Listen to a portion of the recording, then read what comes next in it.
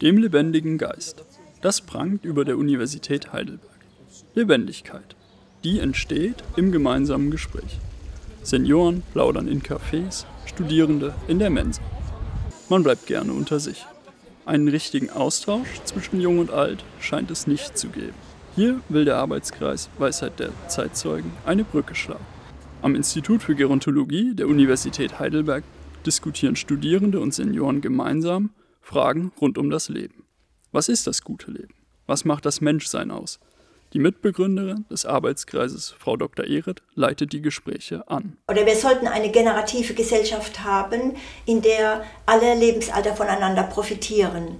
Und ähm, im, im, im Wissen und in der Erfahrung von sehr alten Menschen liegt ein großer Schatz, den junge Menschen für ihre Entwicklung nutzen könnten.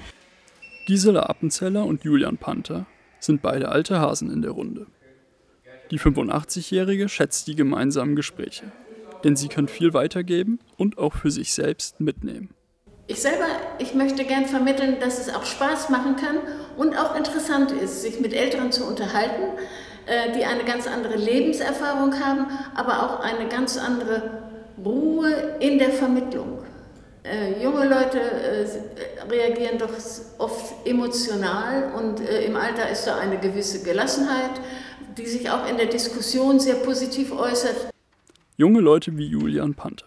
Er studiert Philosophie an der Universität Heidelberg. Was ihn besonders reizt? Hier gibt es keinen oberflächlichen Kaffeeklatsch. Tiefe Gespräche regen zum Nachdenken an. Eine Win-Win-Situation für beide Seiten.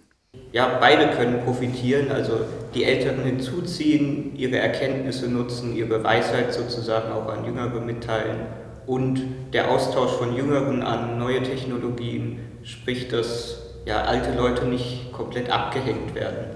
Auch wenn die Teller inzwischen leer sind, jung und alt könnten noch ewig miteinander sprechen und voneinander lernen. Viel lebendiger, als es jedes Buch vermitteln könnte.